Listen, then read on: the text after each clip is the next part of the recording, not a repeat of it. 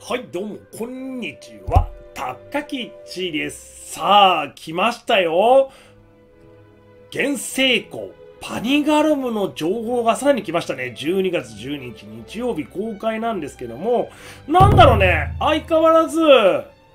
なんか漫画で説明するの最近好きだよね。バージョン6まであと何日とかいうものもなんかすごいイラストとか漫画風なタッチなものを書いて最近運営さんハマってんのかな。まあそんなバニガルムが情報が来ましてえー場所どこなんだろうなって探したんですけどこのフォーリオン外角に今はこの先進めないっていう場所があったんですけどここなのかな？場所的にね。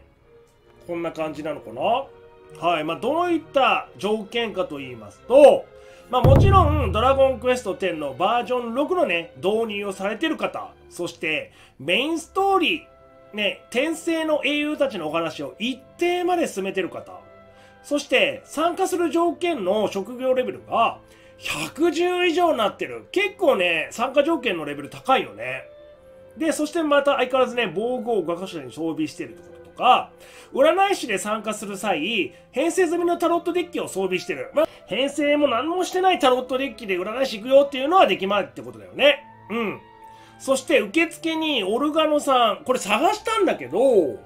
ルガノがちょっとどこにもないのよね。まあ、この中なのかな、オルガノに、え話しかけるといけるみたいで、創生玉を使って女神の木を育成することができるということなんですが、まあ、途中まではね、この間のね、ドラゴンクエスト TV でもやってた情報と、えー全く同じなんですが、まあ、道をね、選んで、まあ、モンスターの道だったり、えーアイテムの道だったりありますよっていうね、ものがありますね。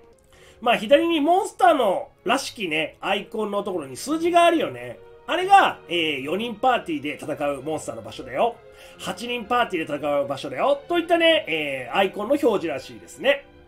そしてモンスターの出現する部屋、4人パーティー、8面パーティーの戦闘を行った際に、倒した後にレッドログが獲得できるほか、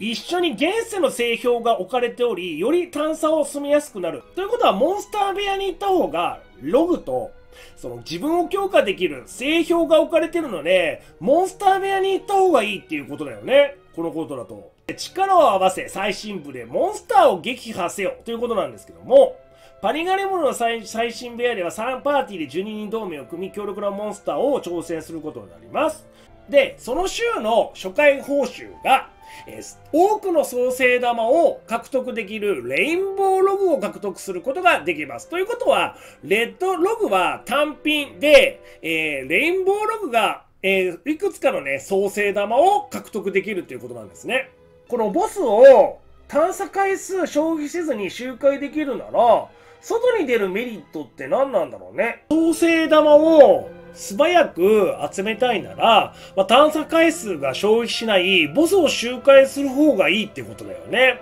まだまだ探査回数が減るのに、消費するのに、外へ出るメリットってなんだろう途中でやめたいよっていうだけなのかな強化ってパニガオルム、その探査の回のみ効果が発揮されますって書いてあるから、外に出てしまったら、まあ、なくなっちゃうわけよね。で、さらに強化をできるってわけではなさそうなんだよね。あこっからが新たなる情報が来ます。女神の木を育てよう。ちょっとこれ見た感じ僕すげえゾゾってしたんだけど、かなり鬼畜システムになるんではないんでしょうか？っていうのは、女神の木を育てるためには、えー創生玉を使って女神の木を育てることができます。女神の木は育てることで木の種類に応じたステータスが強化されます。まあここまでは同じ状況だよね。で、新しく情報が来たのが、女神の木の育成には、女神の木のレベルに応じた数の創生玉が必要なり、育成まで、育成の完了までにリアル時間がかかります。っていうのが追加されてたんですよね。はい、写真を見た通り、はい、ドン。えー、レベル1、力の木を1個育てるためには、3個の創生玉が必要なので、えー10個のステータスがあるので、全部を育てようとするには、創生玉ととにかく30個必要だってことだよね。で、最初は30個目標でやっていけばいいとは思うんですけど、その1個育てるのに、レベル1から育てるのに、どれぐらいのリアル時間かかるんだろうね。はい、5分でできました、10分でできましたといったそんなような簡単にはできないような気がする。どうなんだろう ?24 時間以上かかるのかなはたまた1週間とかかかるのかなステータスを増やせるんだから、気軽にね、時間は相当かかりそうですよね。1日2日じゃできないのかないやこの育成システムがまた鬼畜そうだよな、おい。まあでも、探索回数を消費しない周回をすることによって30個は、まあ、簡単ではないけどね、時間をかければ集まりそうなんだけど、そのレインボーログで複数個入手できるっていうのがどれぐらい複数個なんだろうね。まあ、レッドログで1個だとして、まあ、30回ボスを倒せばいいとは思うんだけど、その1戦闘のボスの戦闘時間ってどれぐらいかかるのか、それとレインボーログで複数個どれだけ手に入るのかっていうのがすごい気になるとこだよね。はい、また鬼畜な集荷が増えそうです。はい、ということでね、12月12日、まあ、今週ですね、楽しみにパニーガルムお待ちしてみてはいかがでしょうか？ということで、本日もご視聴ありがとうございました。また見てね。バイバイ。